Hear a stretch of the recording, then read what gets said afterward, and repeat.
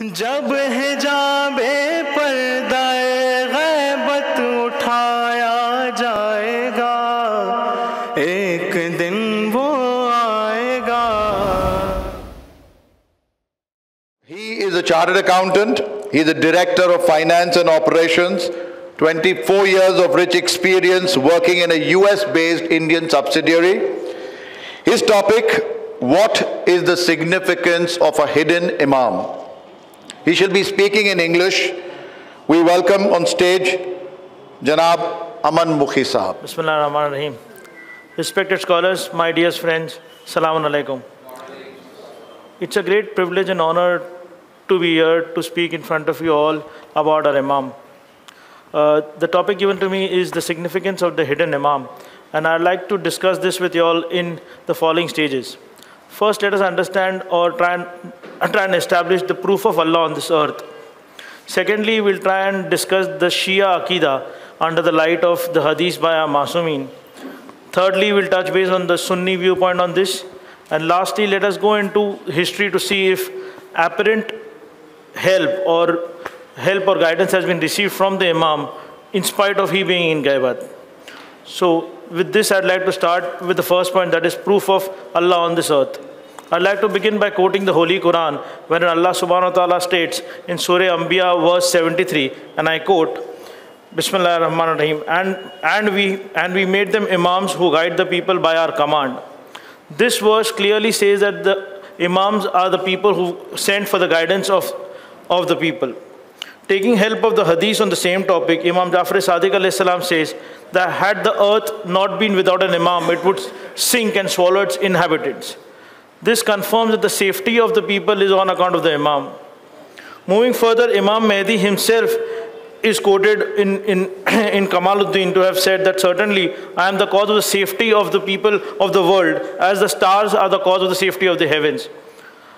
The verse above quoted and the two hadiths allow us to clearly confirm that the Holy Prophet and the Imam are the proof of Allah on this earth and the reason for its safety.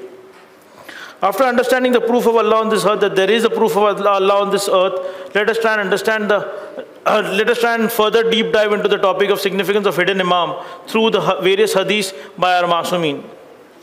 Once again, I quote the Holy Quran, Bismillah ar-Rahman ar-Rahim, verse number 4, ayat number 59. Bismillah ar-Rahman ar-Rahim. Ya ayyuhallazina amanu atiyullah wa atiyur rasul wa ulil amril minkum. Translation, Bismillah ar-Rahman ar-Rahim. O those who believe, obey Allah, obey the messenger and those who have authority amongst you.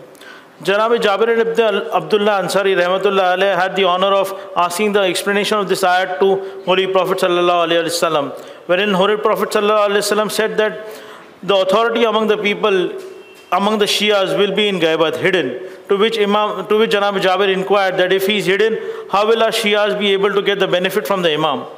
Holy Prophet ﷺ replied that this that will be similar to the benefit derived from the sun while it is behind the clouds.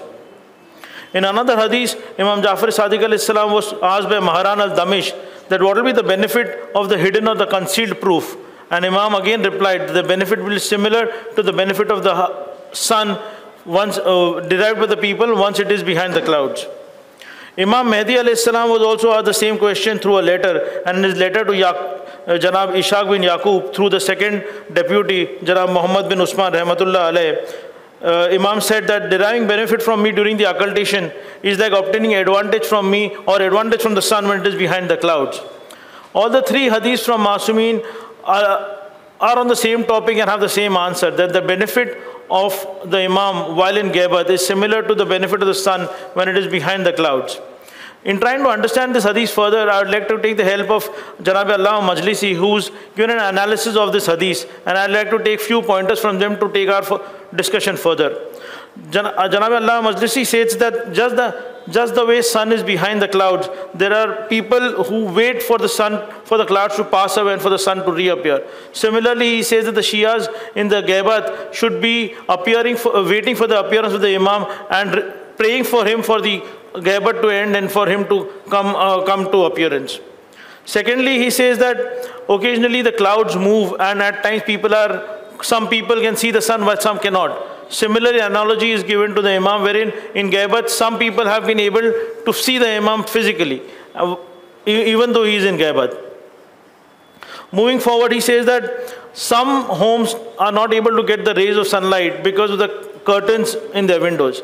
Similarly, if there are, there are wheels on our hearts which don't allow us to get the light or the guidance from the Imam. Similarly, it is, accordingly, it is requested that we should follow the uh, teachings of the LBS for to remove the wheels from our heart for able to us to get closer to the Imam. Finally, he, he, he says that just like the sun, which is the uh, center of the solar system, Imam is the central axis of the universe. And even the sun follows the command of the Imam.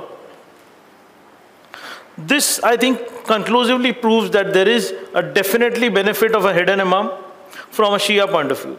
Now let us try and see if, there is, if we can get some Sunni references which confirm the same belief.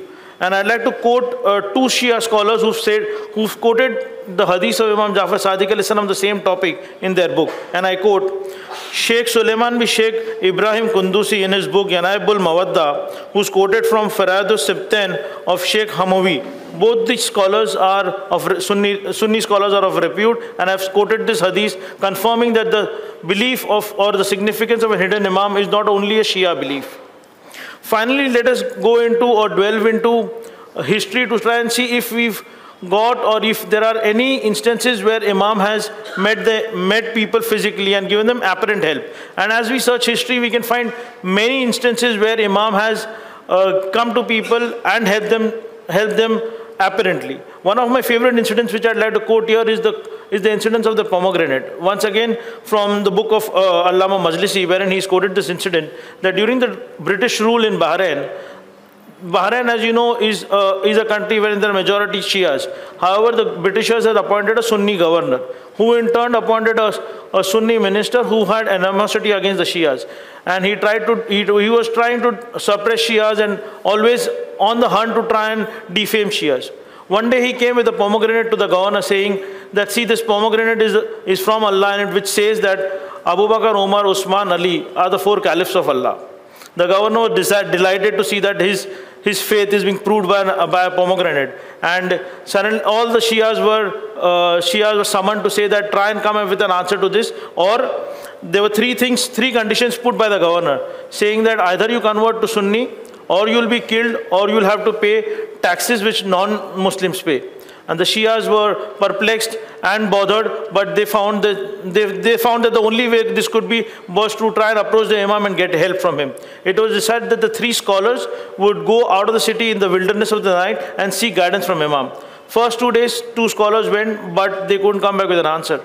The third day, uh, the, the, the the most religious scholar went out in the city and he was greeted by a person who had I mean, great personality. And he asked, the, he asked the scholar whether, what is your question? And the scholar replied that if you are my imam, you'll know my problem. Alhamdulillah. And he said, yes, I know your problem and don't worry, I'll give you the answer for this.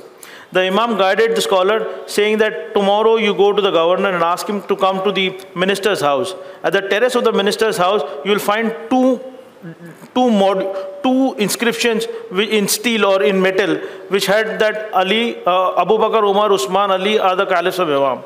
And the Imam explained to him that the minister, while the fruit was, uh, while the fruit was small, inst instilled this in the fruit and that's how when the fruit came out or when the fruit was big enough it had this on it had written on this and he also, and Imam also said that you will see the power of Allah when you go to him. Ask him to break the fruit, and you will see the power of Allah. Next day, the happy, uh, the happy uh, scholar went to the uh, went to the governor and asked him to come to the house of the, the minister and they both went there. The minister was perplexed obviously sad at what was happening and how this could happen.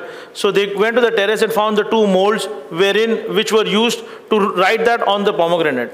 And then once the governor asked the minister to cut the uh, cut the pomegranate, the face of the minister was blackened with the fumes coming out from the pomegranate as as advised by Imam al-Islam. So here we can see that apparent apparent help was received from the Imam in spite of he being in Gaibat and the, the faith of the Shias was saved. I'd like to conclude that based on all these, we can easily conclude that Imam is always there to is always prepared to help us. It is just that it is our, uh, we need to know how to approach him and how for him to call in a proper way so that he helps us. Thank you very much. Salawat ur Muhammad. From 12 Talks, we would like to honor you with this. Summarizing uh, Mr. Aman Mookhy Sahab's speech, where he spoke about the significance of the hidden Imam. He spoke about deriving benefit from the Imam is like deriving benefit from the sun when it is behind the clouds. And the people wait for the clouds to move so that they can see and take benefit. Similarly for Imam Mahdi alayhi salam. Like the sun, which is the center of the solar system, so too Imam Mahdi is the focal point on which the universe functions. صدق الله العلي العظيم